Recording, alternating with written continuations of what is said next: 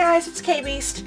Um, if my voice sounds a little weird, I have a cold right now, so that's just, yeah, I've been dealing with that since yesterday. Not a lot of fun. Um, but I got a bunch of stuff in the mail today.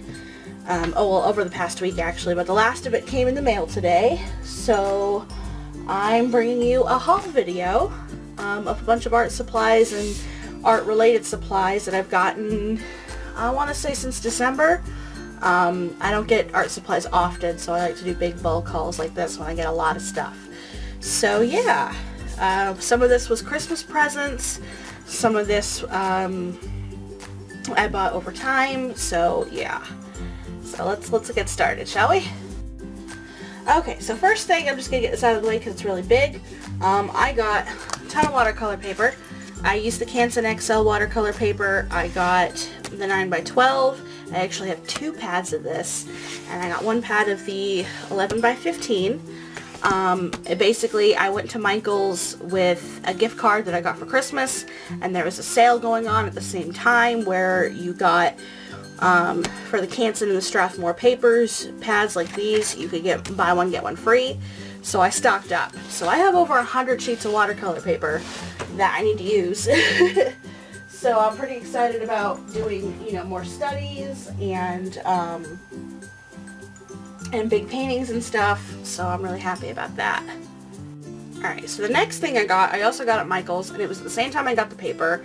I used my uh, Christmas gift card specifically for this because it was something I really wanted. I don't have the original packaging anymore because I've had it for a few months and I've used them. But I keep them in a little plastic baggie.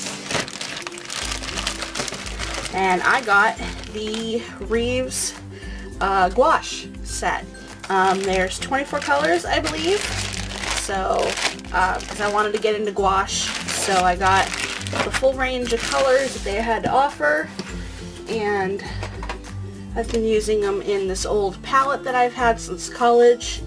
Um, I, I, use them dry and then also when I want, want them to be fresh I just squeeze some right out of the tube in there and use it in the palette and then let it dry in the palette so it doesn't get wasted because gouache um, can be reactivated by water even after it's dried but I've noticed that it does function differently when you use it from here versus straight from the tube. So still learning how to do that but I've been having a lot of fun using these on my watercolors lately to uh, add depth and the fact that it's opaque uh, more opaque than watercolor means I can do more things so I got that Okay, and then this was a Christmas gift actually from my friend Jesse.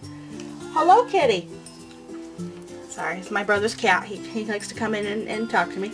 Uh, my friend Jessie got me these uh, Spectrum Noir sparkle pens. She works at Michael's and picked these up for, uh, she picked up a set for me and for my best friend John because he likes glitter too. I have a, a failed flower study from February and I can show you what they look like on the back. I've already, I've played with them, but I haven't like utilized them in like a piece yet because I haven't done a lot of pieces where I felt glitter was necessary. Although my best friend John would look at this and say glitter is always necessary. Um, but I've been doing a lot of uh, landscape studies and um, birds for my dad lately, so like I really like that blue though. That is definitely something I have to play with. And they make more colors, so for funsies I might have to get more of these. But these were a Christmas present. Okay, so this next thing I got, it was an impulse buy. I was in a Target and they looked interesting, so I got them. Again, I don't have the original packaging. I've been keeping things in plastic bags to save space. Um, but these are dual tip brush pens from Crayola. So one side is a bullet nib, and yep, that's the bullet nib right there. Um, and then the other side is a brush nib, and this cat really wants in my room. Um, and the brush nib is a felt tip brush nib. I thought that they were bristles, but they're not. Um, but I thought this could be fun to do like a cheap art supply challenge at some point. So I picked them up. Um, one thing that kind of bothers me is the bullet nib and the brush nib for the same marker are different colors. So I think they did that to fit more colors in the set than usual, than they could. Like I think it's 48 colors total, but they're not the same color. And that's kind of annoying, but whatever. Um, they're water-based. I've tested them on my sketchbook. You can dilute them with water, um, but I haven't actually done anything with them. because I've only come back to recording recently, but I think I could do like a little challenge video with these because these were pretty cheap and they they look kind of fun. So I picked these up. Alright, this next round of stuff is just a bunch of odds and ends that I picked up at Hobby Lobby. Um, I just want a little disclaimer. Um, as a queer woman, there's a lot of things about Hobby Lobby I do not agree with, but one opened up in my town, and the nearest Michael's takes an hour to get to, so I shop there sometimes. I'm not exactly proud of it, but I need my art supplies and it's local. And I live in a small town in the middle of nowhere. There's not a lot of stuff that's local. But I picked up a couple odds and ends because I had never been in one before and I wanted to see what they had. So I got this little flower shaped palette. Clearly it's already been used. Um, I used this for gouache mostly when I was doing my flower studies in February. Picked up, this came in a two pack, little spray bottles. I use this to wet my palettes. I found this is actually way more effective than just dipping your your brush in the water and then putting it in the pan of paint because uh, it gets has time to soak in. So it came in two. I wrote water on this one because the other one's empty and I'm thinking of putting rubbing alcohol in it and using it for effects, but I haven't actually done that yet. So, so there's that. Uh, I picked up a hole punch. Um, well, not a hole punch. It's a corner corner punch. So it makes rounded corners because I thought that could be fun to do for prints or for originals. I like I like the way rounded corners look. So I finally got one of these.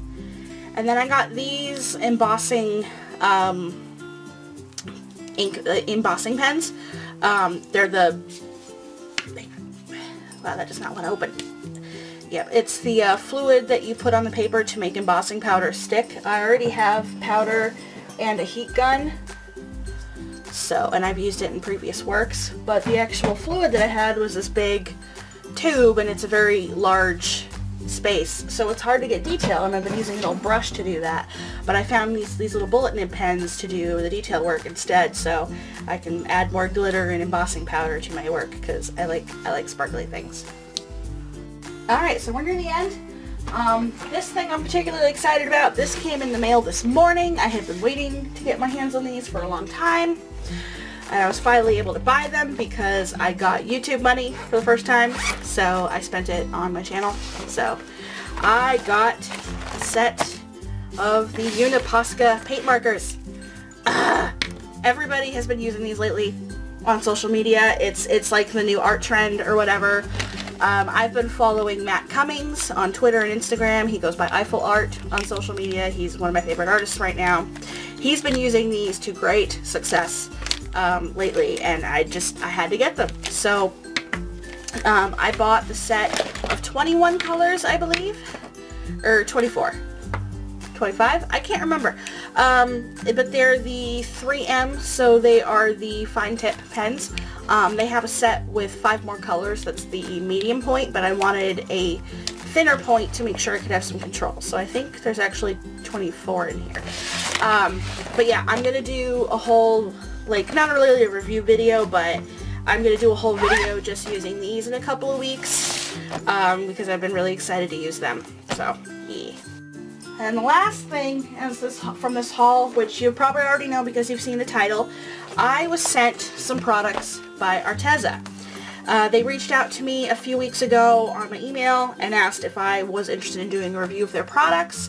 I said yes. They asked me what it was I interested in using. I said I'm interested in watercolor and gouache because that's what I'm into right now.